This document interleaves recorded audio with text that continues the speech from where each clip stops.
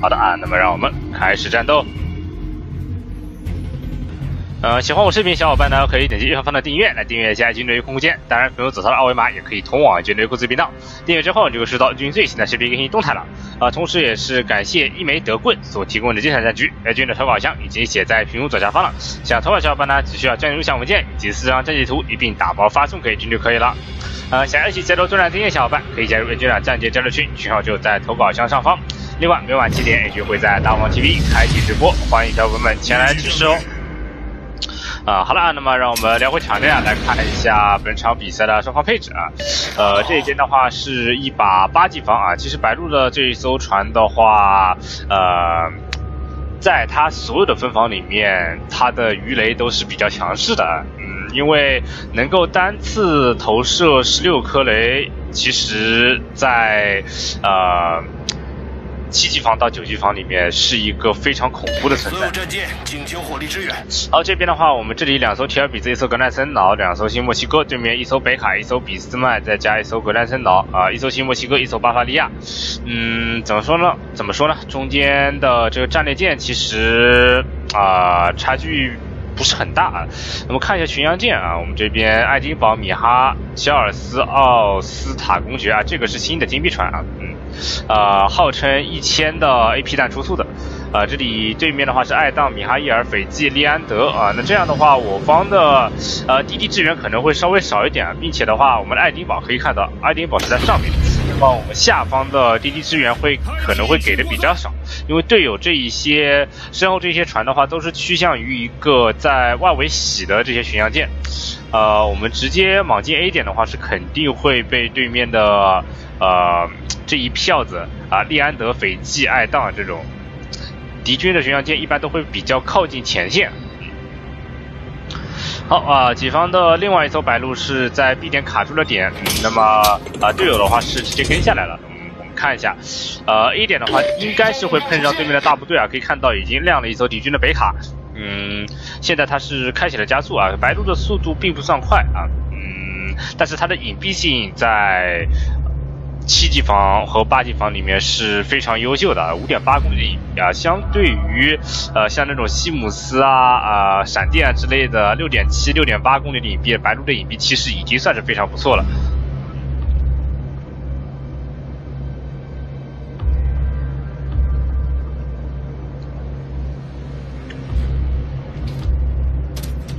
OK 啊，看到了对面的北卡这个位置上的话，估计他身后还有人。看看他放不放这一波雷。好，点亮了一头敌军的马汉，可以看到马汉是一个啊七点几公里的点亮。那这么这这样的话，我们的隐蔽就直接压死他了。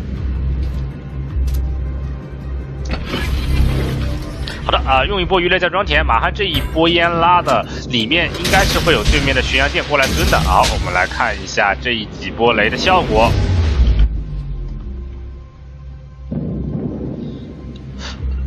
好，首先是我们的第一波雷，看看能中几颗。因为北卡这个剃头往前冲的姿势，啊，如果说他不切的话，应该是只吃一颗。嗯，这个斐济的话，好像是要帮北卡接雷了。来，一颗。啊，两颗，北卡再接一颗，漂亮。我们再来看一下自己的下一波雷，啊，这边雷马上就要禁烟了。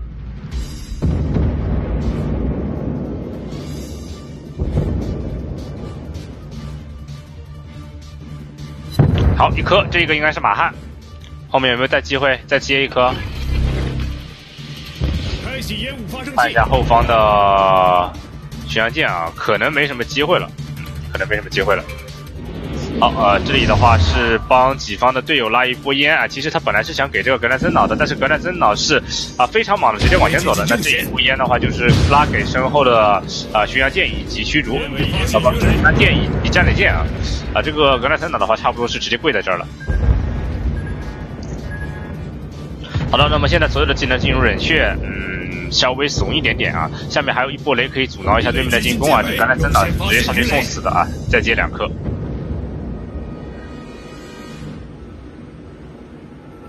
好的，可以看敌军的格兰森瑙以及新墨西哥这一票的战列舰压着离 A 点的前沿非常的近。那么这样的话，我们的鱼雷是可以发挥出它最大的功效。呃，我们的烟雾的话还有三十秒钟啊。这一波鱼雷我们看一下他打算怎么丢。啊，他应该是在等格兰森瑙死啊，不然的话雷雷死自己队友，说不定把自己给弹死了。好，对面的马汉是出了一下点，二十秒。马上就能把这个点给拿下来了。哎，看一下他这边打上雷谁？哎，这个格兰森瑙投的是他的停船位，接外切一波，然后继续洗北卡。烟雾时间还有两秒钟，啊，十七秒，最后一团烟散的时候是十七秒。啊，这边是投的格兰森瑙的减速位，同时也是往烟里面丢的。我们看一下这一波雷的效果，啊，拉高一点。啊，这边的鱼雷警报来袭是对面马汉人的雷。因为马汉智商并不高啊，我们看一下有没有机会在烟里面啊摸到奖，中个彩。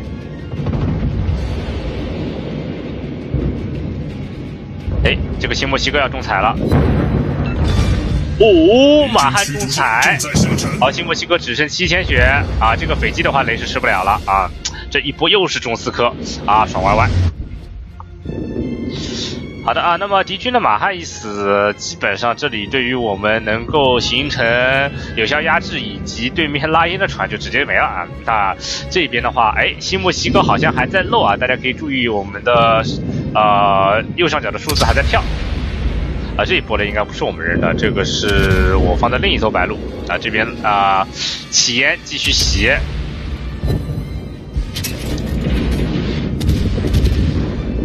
啊，其实现在这种情况是啊，日系驱逐舰最喜欢的情况啊。对面的驱，对面的滴滴已经死光了啊，然后啊，对面的战列舰又是正在前线啊，又碍于我们正前方这些战列舰阵容，他们不敢转向啊。这里是我们啊滴滴最舒服的时候，日系滴滴最舒服的时候。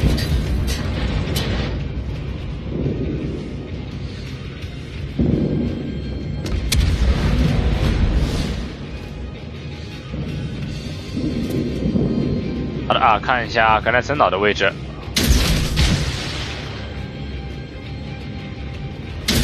啊，投的是他一个内切位啊。我们看一下这一波雷。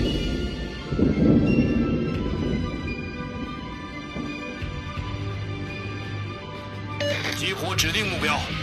啊，格兰森岛在缓速倒船啊，那这一波雷的话，应该是有机会。啊，同时队友也是给他上了把火，这个要是格莱森脑头脑一热把总管交了，那就 happy 了。好，两把火，然后又看到鱼雷过来了，这格莱森脑这个绝望啊！颗两颗，好啊，那么再来一颗就可以 say goodbye 了啊，塞完了。击沉敌军笨舰。好，那么敌军的这一条呃主力战列舰线已经是基本被我们雷崩了。嗯，那么下面的话就可以考虑往中间摸一下了。但是中间是有一艘俾斯麦的啊，呃，那么考虑一下，还是选择在这边先把这里所有的船给清掉，然后再选择往上走。呃，因为上方啊没有任何滴滴的关系，我方的这个睡雪已经死了。嗯。呃，因此上面的新墨西哥和铁尔比兹会比较危险。好，呃，十秒钟，我看一下，哎，这个北卡啊，六千血，我们不打算雷他了。看一下他的目标选择，哎，这边这个米库，米库是一个其实比是一个比较好选择的目标啊。这个北卡的话是死的妥妥的了啊，但是这个米库的话，如果他想要往前走，肯定是要内切的。哎，外切，直接甩两波吗？好，一波外切位，一波耿直走位。然后，看一下这一波雷。好，米库和斐济发起了最后的冲锋，但是可以看到我们现在的分数仍然是在落后的啊，因为上面是被敌军的白鹿和愤怒雷的比较惨。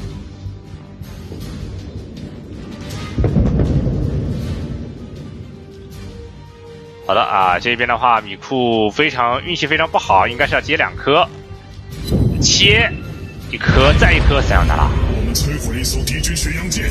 好，这个斐济的话，队友应该可以收掉吧？呃，己方的这一，我们后方的战列舰不知道什么时候已经死光了啊。那这样的话，就只能依靠呃己方的米库来解决这个斐济了。啊，看一下我方的白鹿这一波了有没有机会？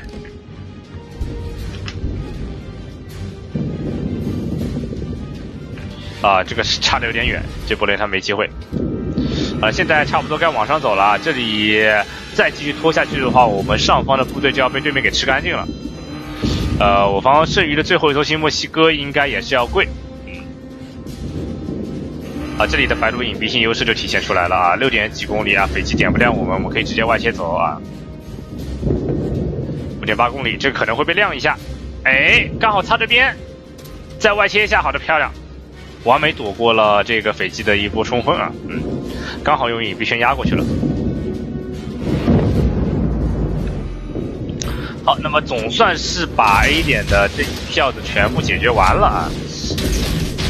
好，这边其实可以瞬间再用一个游猎加速预判一下俾斯麦的前进位啊。这个俾斯麦我看一下，啊，是在满洲造船的啊啊，这边其实不应该拉这个烟啊。不应该拉这个烟，你一旦拉这个烟的话，对面的俾斯麦就立马就知道了，你这里有一个驱逐舰在啊，那么水星它也应该是会开起来的。好，我们看一下这一波雷，啊，满速到船的俾斯麦，那么这一波雷的话，它应该是可以接两颗。好，一颗，两颗，进个水，啊，不进水。那么四千多血，队友应该是可以直接带走啊。那么这里一波雷的话，是把他逼得往前了。好，再起一个火，嗯，刚刚好像是交过损管的。其实进水的话，这个比斯麦就直接死了。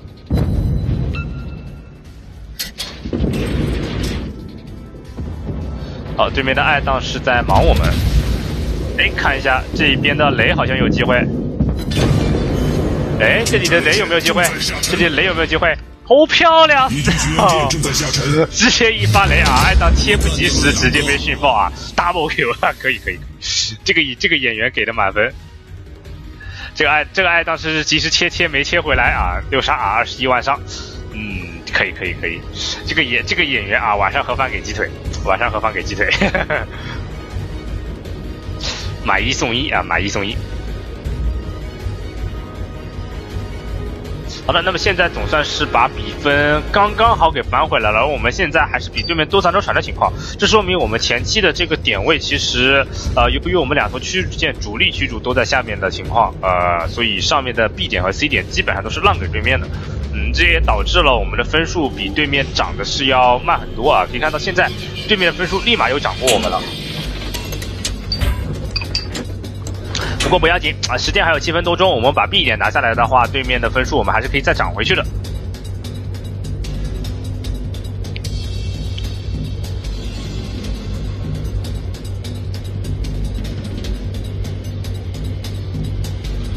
来，我们切到白鹿的主视角来看吧。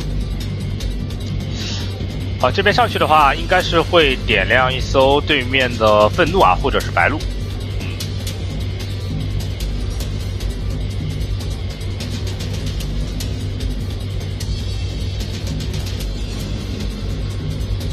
好，点位卡住，但是没有开始战，那么说明对面的白鹿是在里面的啊，可以。好，直接选择开火。敌军白鹿这一轮还击。啊，鱼雷管被打坏了，这个有点蛋疼，刚好全部打在我们的鱼雷管上。引擎严重受损。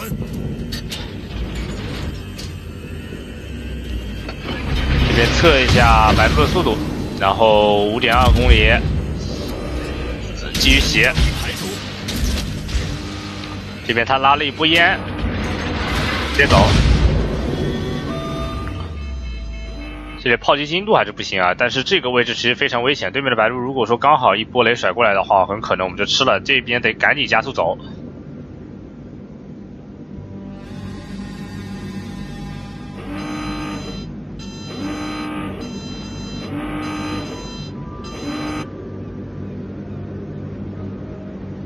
哎，敌军的这个这一波雷的话，哎，还好还好，我们的阿斯塔公爵没吃啊，这样吃了这就尴尬了。对面的白鹿仍然选择在点内卡点啊，嗯，那这样的话他们是想拖时间啊，不过五分多钟啊，如果说你是一分钟还好，五分多钟基本上仅靠这两艘驱逐舰是不可能拖得住的。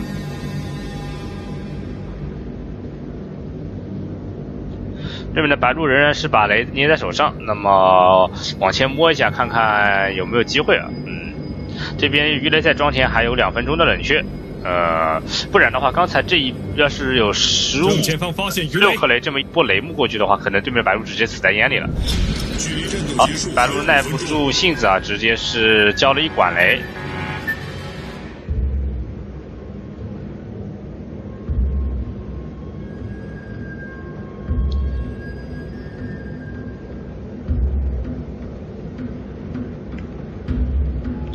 然选择硬撑吗？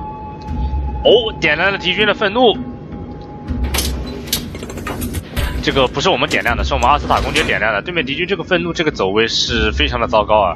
啊，这个位置的话，他已经是走不掉了。鱼雷秒被点亮。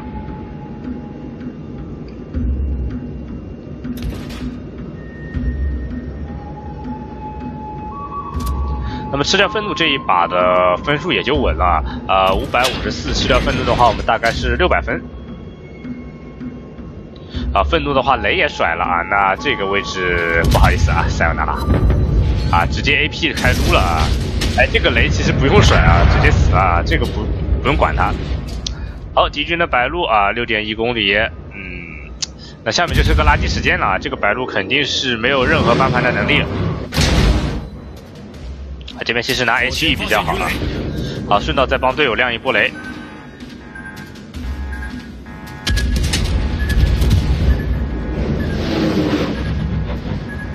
这里其实拿 H E 比较有效，这个 A P 弹的话，呃，打白鹿其实没多大效果。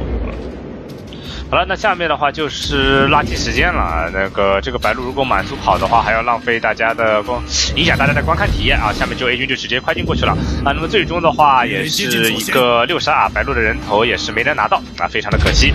嗯，好了，那么让我们下期视频再见吧，拜拜。